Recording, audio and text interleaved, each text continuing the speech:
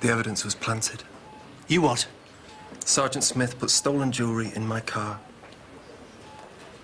He puts it in my car, he beat me unconscious, and I'd like to bring charges against him.